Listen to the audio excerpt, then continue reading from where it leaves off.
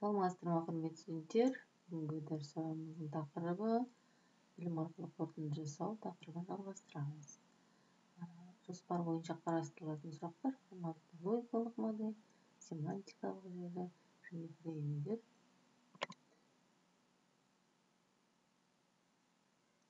білімдерді ұсыну модельдері біз білетіндей білімдерді ұсыну модельдеріне келесілер жатады. Эвристикалық модельдер білімді түсінудің фреймдік модельдері семантикалық желілер және келесі топтағы олар логикалық модельдер логикалық өнімдер аталады енді фреймдік модельдерге тоқталатын болсақ фрейм дегеніміз. Стереотипті ситуацияны ұсыну үшін деректер құрылымы. Әрбір фрейммен түрлі ақпарат ассоциацияланады.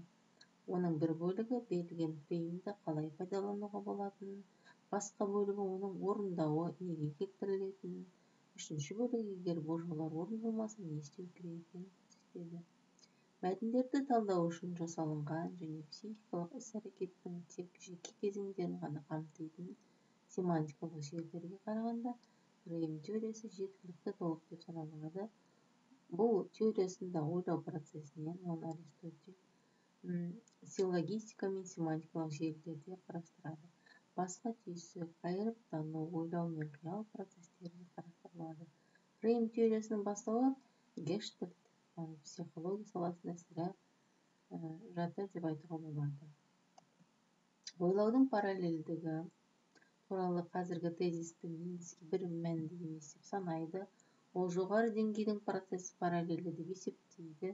Осындай процестерге ол қиял процесін жатқызады ойлау мен айырып тану процестері тізбекті деп санайды. Білімдер ұсынуға логикалық көзқарасты ол априорды шектелген және тек оқу есептерге ғана қолдауға болады деп санайды.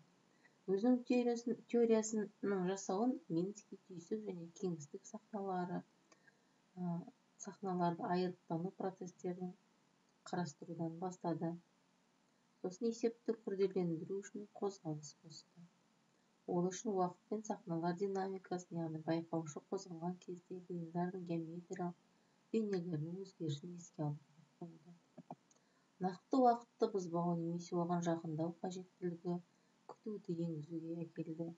Зерттеу барысында мински мына тұжырымға келді.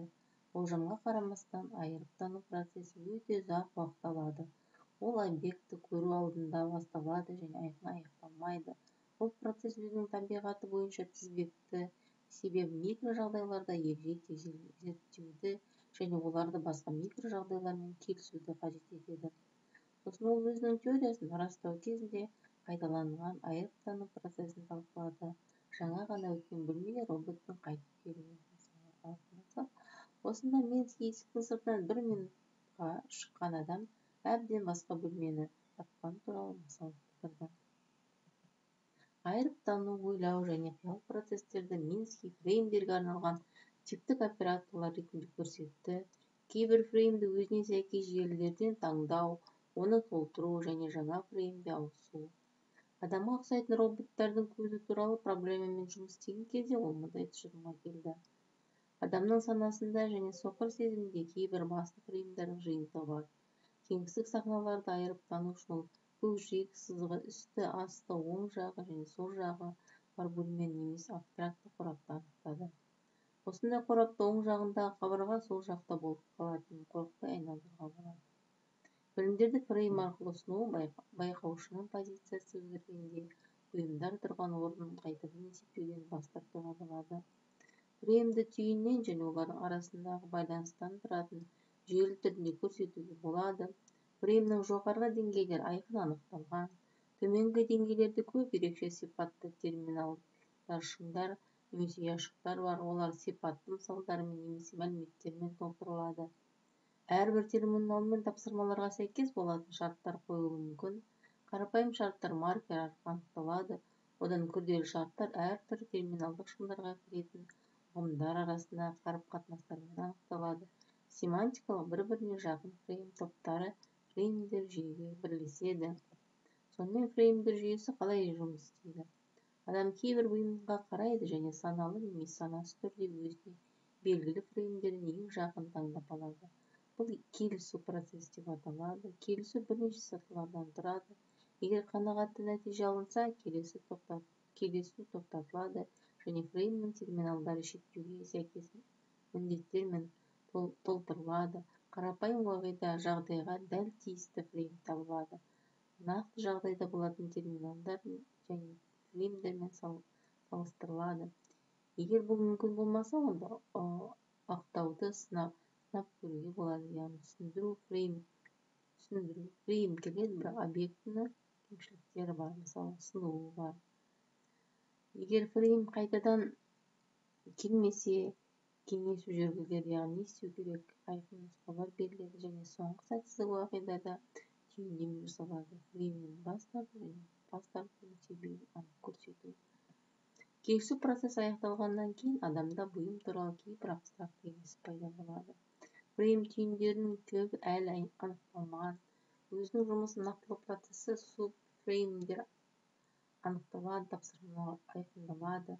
Нақтылау кезінде жеңілмейтін қиындықтар кездесуі мүмкін онда өзгеріс процесі белсенділенеді бұл екі бұрынғы фреймге негізделген жаңа фреймді тудыруы мүмкін. Нақтылау процесі барысында фреймнің терминалдары толығымен толтырылады және егер фреймнің қайталанған пайдалануында қайшылықтар шақырылса жаңарту процесі белсенділеді осы жолмен алынған фреймнің белгілі бір құны болады. Соған байланысты ол пайдаланылғаннан кейін не жойып тасталуы мүмкін не бағалы үлгі ретінде ұзақ мерзімге жадқа салынуы соңғы процесі оқыту деп аталады. Логикалық модель мағынаны талдауға мүмкіндік бермейді. Теориясы сөйлемдердің формасы мен мағынасын модельдеуге мүмкіндік береді. Сөйлемнің мағынасын талдау кезіндегі негізгі проблема бұл тұйықталу проблемасы.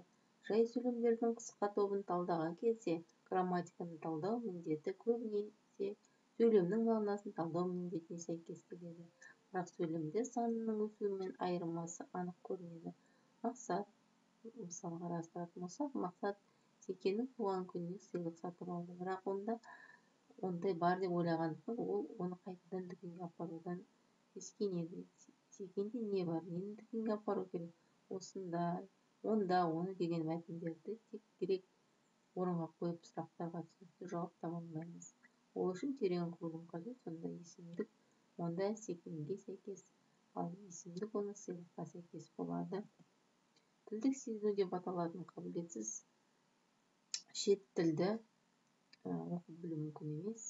кейбір адамдар мысалы аудармашы сөзді бірнеше сөйлемнен алдын ала таба алады. автоматты аударма үшін көп деңгейлі фреймдер желісін пайдаланады. олар беттік синтаксистік семантикалық тематикалық және хабарлы фреймдерден тұрады сөзді тыңдау және түсіну міндеттері өзінің табиғи негізінде әртүрлі бірінші жағдайда кейбір фреймнің терминалдарының пассивті толтыруы екінші жағдайда мәнін түсінуі болады тұйықталу түрліше келеді активті түрде кейбір сценарий ретінде жүргізіледі тәжірибеде фреймдерге негізделген модель объектілі бағытталған бағдарламалауда объекті деректер қоры теориясында ең кең тараған қазіргі заманның бағдарламалау тілдерінде пайдаланатын фреймдердің негізгі қасиеттері инкапсуляция бұралану және объектілердің полиморфизмі инкапсуляция объект ішіндегі мәліметтер мен әдістердің бірлігі бұралану объектінің өзінің бір ата-ана тегінің ішіндегі анықталған мәліметтер мен әдістермен пайдалану қабілеті. Полиморфизм түрлі уақытта объектінің өзін өзі әртүрлі ұстау қабілеті білімдер қорында сақталынатын үлгі фреймдерді және нақты жағдайда бейнелеу үшін жасалынатын дана фреймдерді ажыратады. Енді семантикалық желілерге келетін болсақ семантикалық желі деген ұғым мың бір тоғыз жүз алпыс сегіз алпыс тоғызыншы жылдары кулиен жұмыстарында пайда болған. Бұл үшін доғалар мен қосылған түйіндері бар графикалық сызбалар пайдаланылады. Семантикалық желілер теориясында граф ағаштарымен қатар циклдік және толық байланысқан графтар қарастырылады. Одан басқа мүмкін болатын арақатынастар типтері жеке және ерекше түрде зерттелінеді алдымен семантикалық желілер табиғи тілдерді талдау үшін және адамның ақыл есінің психологиялық моделін құру үшін жасалынған болатын. Бұл кезеңде сөйлемде бейне бір орталық тақырып бар деп есептелетін осыны пайдаланып машина сөйлемінің мағынасын түсіну мүмкін. Семантика белгілер мен объектілер арасындағы қатынастарды қоятын ғылым яғни белгілердің мағынасын анықтайтын ғылым семантикалық желі бұл бағытталған граф оның шыңдары ұғымдар ал доғалар олар арасындағы қатынастар адамның ақыл есінің құрылысын және логикалық шығарудың ұйымдастыруының теориялық қағидаларын иерархиялық желіге негіздеу коллинспен бірге мың да тоғыз жүз алпыс тоғыз жетпісінші жылдары тәжірибелік түрде тексеру шығарды осындай желі үшін мынадай қасиеттер сипатты класс класс элементі қасиет мәні.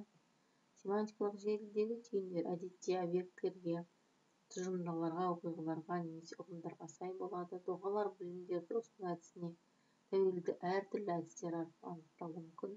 Желінің кез келген фрагменті мысалы бір шыңы екі шыңы немесе оларды қосатын доға бағыныңқы желі деп аталады. Семантикалық желідегі логикалық шығару бұл кейбір шарттарға қанағаттандырылған бағыныңқы желіні табу немесе құрастыру.